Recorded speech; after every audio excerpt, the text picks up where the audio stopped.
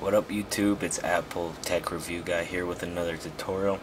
Today I'm going to show you how to get into recovery mode and to get out of it. Um, there's two ways of doing both of those. Um, first way is that you turn off your phone completely. Wait for it to turn off.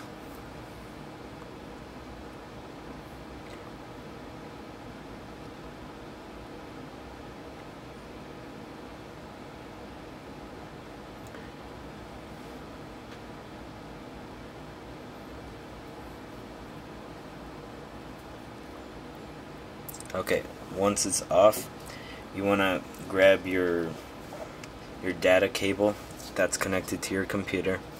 You want to hold the home button and plug this in at the same time.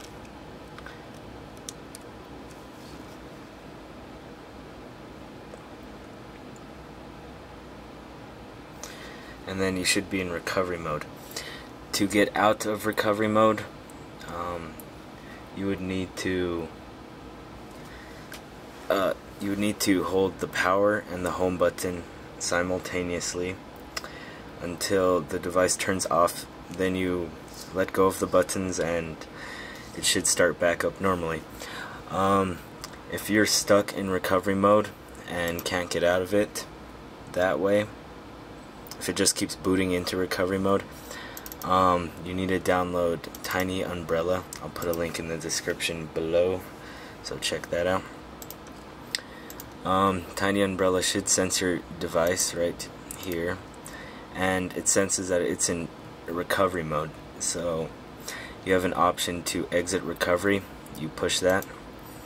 And your device should turn off and then turn back on. And that other way of getting into recovery is just same way. Um, once it's all started up just click enter recovery it reboots the device and puts it into recovery mode. Um, yeah that's about it. Thanks for watching. Uh, please rate comment and subscribe and have a nice day. Peace